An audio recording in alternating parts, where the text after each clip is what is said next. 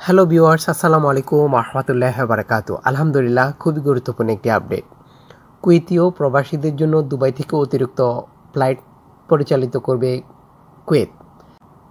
Kuwait এয়ারওয়েজের মাধ্যমে দোসরা জানুয়ারি থেকে ষষ্ঠ জানুয়ারি পর্যন্ত দুবাই থেকে অতিরিক্ত ফ্লাইট পরিচালনা করার সিদ্ধান্ত নেওয়া হয়েছে। দুবাইয়ে আটকে থাকা কুয়েতি নাগরিক ও প্রবাসীদের দেশে ফিরিয়ে আনতে সিভিল এভিয়েশন ডিরেক্টর জেনারেল কর্তৃক অতিরিক্ত বিমানের অনুমোদন দেওয়া হয়েছে। কুয়েত আন্তর্জাতিক বিমানবন্দরটি করোনা ভাইরাস ছড়িয়ে পড়ার আশঙ্কায় বাণিজ্যিক ফ্লাইটগুলো দশ দিনের জন্য স্থগিত করার সিদ্ধান্ত নেয়। পুনরায় দোসরা জানুয়ারি দু হাজার একুশ ইং যেটা শনিবার থেকে স্বাভাবিকভাবে তাদের কার্যক্রম শুরু করবে। তবে এতে নতুন যে যোগ হওয়া, সেটা হচ্ছে যে দশ দিনে যেসব প্রবাসীরা চোদ্দ দিন কোয়ারেন্টাইন শেষ করে কুয়েত আসার কথা ছিল বিশেষ করে ফ্লাইট নিষেধাজ্ঞা বা ফ্লাইট বন্ধ থাকার কারণে তারা কুয়েত প্রবেশ করতে পারেনি। তাদেরকে ফিরিয়ে আনার জন্য কুয়েতের অসাধারণ এই উদ্যোগকে আমরা স্বাগত জানাই। বিশেষ করে সরাসরি কুয়েত প্রবেশ নিষেধাজ্ঞা থাকার কারণে এশিয়ার বাংলাদেশ, নেপাল, পাকিস্তান, শ্রীলঙ্কা এবং ফিলিপিন্স সহ বিভিন্ন দেশের প্রবাসীরা দুবাইতে অপেক্ষা করছিল।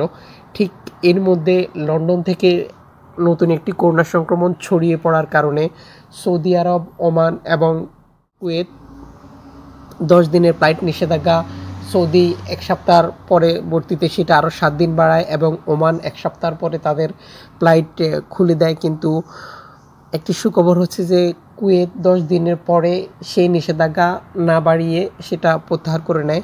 তবে পঁয়ত্রিশটি দেশের প্রবাসীদের কুয়েত সরাসরি প্রবেশের যে নিষেধাজ্ঞা, সেটা এখনও বহাল আছে। সিভিল এভিয়েশন থেকে সর্বশেষ আপডেট অনুযায়ী যেটা জানানো হয়, স্বাস্থ্য মন্ত্রণালয়ের নির্দেশনার উপর নির্ভর করে এখনও পঁয়ত্রিশটি দেশের প্রবাসীদের সরাসরি কুয়েত প্রবেশে নিষেধাজ্ঞা আছে। পূর্ব ঘোষিত নিয়ম অনুযায়ী তৃতীয় কোনো দেশে চোদ্দ দিন কোয়ারেন্টাইনে থেকে কুয়েত প্রবেশের সুযোগ পাবে প্রবাসীরা।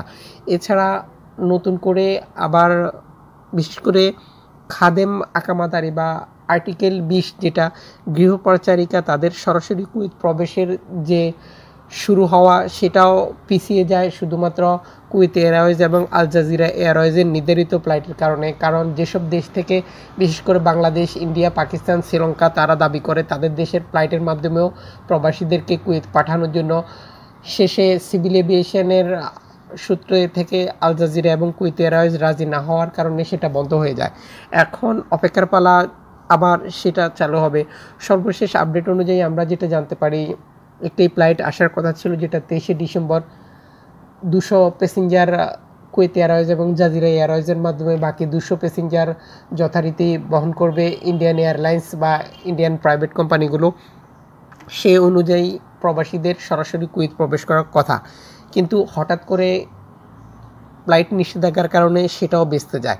এখন যেহেতু দোসরা জানুয়ারি থেকে আবার নতুন করে ফ্লাইট চালু হচ্ছে, এখন দেখার বিষয় নতুন কোন সিস্টেম ফলো করে সরাসরি কুয়েতে প্রবেশ করার সুযোগ দেওয়া হচ্ছে। এটা ছিল আটকে থাকা দুবাই প্রবাসীদের জন্য দারুণ একটি খবর। যারা এতদিন থেকে অপেক্ষায় আছে দুবাইতে, তারা খুব সহজে খুব তাড়াতাড়ি ঝামেলাবিহীন, বিশেষ করে অতিরিক্ত ফ্লাইটের কারণে অপেক্ষা করতে হবে না। ফ্লাইট চালুর পরের দিন থেকে বা ফ্লাইট চালু যেদিন সেদিন থেকেও কুয়েতে প্রবেশ করতে পারবে।